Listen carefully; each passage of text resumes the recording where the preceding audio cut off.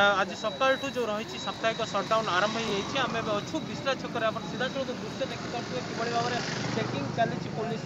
जो बारिकेटिंग रही पुलिस बारिकेटिंग रही पुलिस बारिकेटिंग पुलिस मैंने जगी कौन से लोक को भी छड़ा जाऊनि जो मैंने भी आसुँच से अटक पचरा जदि आपातकालीन सेवा कि जरूरकालीन सेवाई जाऊँगी को ही केवल छड़ा जाए तेज दोकान बजार समस्त बंद रही है अत्यावश्यक सामग्री को छाड़देले बाकी कौन सी सेवा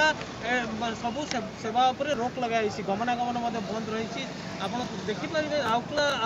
मेन मार्केट जो रही मेन मार्केट संपूर्ण भाव बंद रही है लोक মধ্যে এই শাটডাউনটো শতপ্রভূতভাবে পালন করছନ୍ତି কারণ যে এবে যে পরিস্থিতি হাওক্লার যে পরিস্থিতি হাওক্লার আজি মধ্যে রইছে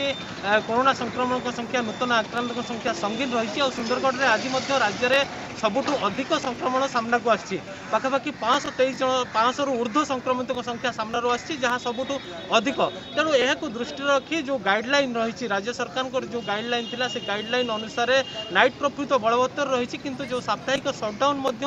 ଦୁଇଦିନ ଧରି ଲାଗୁ କରାଯାଇଛି ଶନିବାର ଓ ରବିବାର ତେବେ ଆଜି ସପ୍ତାହଠୁ ଏହାର ସମ୍ପୂର୍ଣ୍ଣ ଭାବେ ଲୋକମାନେ ମଧ୍ୟ ସତପ୍ରବୃତ ଭାବେ ପାଳନ କରୁଛନ୍ତି କାରଣ ରାଉରକେଲାର ସ୍ଥିତି ଯେଉଁ ସାଂଘାତିକ ସ୍ଥିତି ଆସିଲାଣି ଯଦି ଏହାକୁ ଲୋକମାନେ ନ ମାନିବେ କିମ୍ବା ବେପରୁ ଭାବେ ଆଗକୁ ଏହାର ମଧ୍ୟ କଡ଼ାକଡ଼ି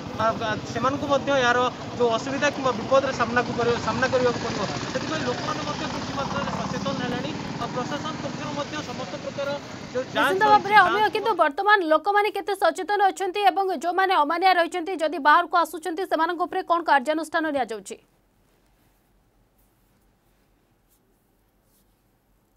মানে অমান্য ৰহচନ୍ତି কিবা বাহৰକୁ আসুচନ୍ତି সেমানৰ ওপৰে দৃঢ় কাৰ্যানুষ্ঠান গ্ৰহণ কৰা হৈ আছে পুলিশ পক্ষত কৰে আৰু আটাইই সাহেতক পাই মই কৈ আছো যে যদি কোনো মন মানে হৈ আছে তেতিয়া ପରୀକ୍ଷା ପୋଲିସ ଅଧିକାରୀ କେମିତି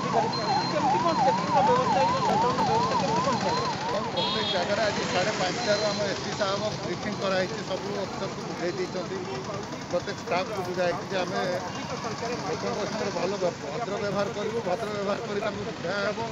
ଏବଂ ପ୍ରତ୍ୟେକ ତିରିଶଟା ଜାଗାରେ ଆମର ଚେକିଂ ଚାଲିଛି ପ୍ରତ୍ୟେକ ଜାଗାରେ ଆମର ସିନିୟର ଅଫିସରମାନେ ସବୁ ଅଛନ୍ତି ଏବଂ ଆମର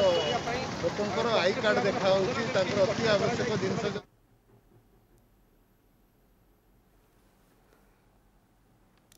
ନିଶ୍ଚିତ ଭାବରେ ବହୁତ ବହୁତ ଧନ୍ୟବାଦ ଅମ୍ୟ